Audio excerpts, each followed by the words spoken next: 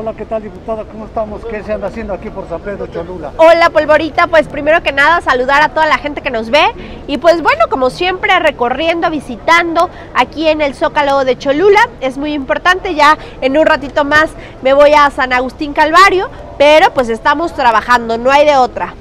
¿Qué hay de nuevo dentro del ámbito político?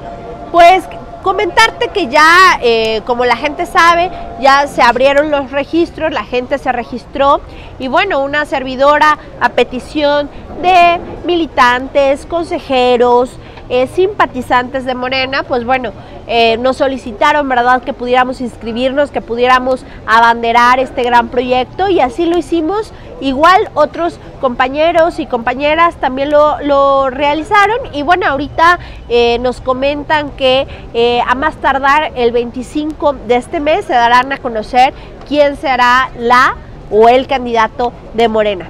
Son cuatro participantes, tres, ¿cuántos son? Eh, eso lo determina nuestro partido. Pero está causado mucho escosor, ha habido guerra sucia, como que los han quitado mucho.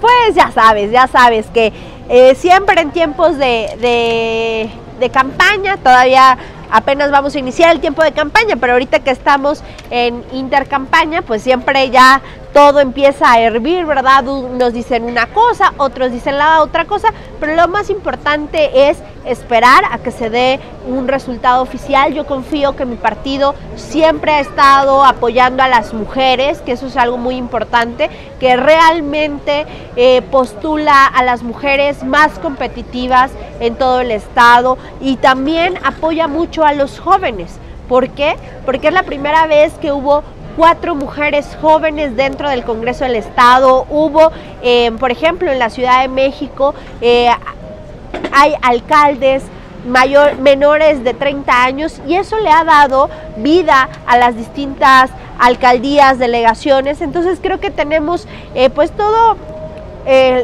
pues una buena oportunidad de seguir trabajando por el bienestar del ocho Lultecas. Ah, ¿Algo que quiera agregar, un mensaje por último? Pues sí, que la gente ya nos conoce, eh, pero de todas formas nos seguimos presentando. Soy Tonantzin Fernández, eh, actualmente soy diputada con licencia, por supuesto que solicité licencia por congruencia a nuestros partidos, a nuestro partido, a nuestro movimiento. ¿Por qué? Porque al final creo que debemos de tener un piso parejo, ¿verdad? Para competir. Eso a la gente le ha gustado muchísimo, lo sabe reconocer. Y bueno, ayer una señora en, San Matías Cocoyotla me decía, no, diputada, es que tú eres una mujer eh, trabajadora, honesta, que recorre las juntas auxiliares, ¿cómo le haces? Y le digo, pues con mucha convicción y con mucho compromiso de servirles a todos ustedes. Muchísimas gracias. Hasta pronto.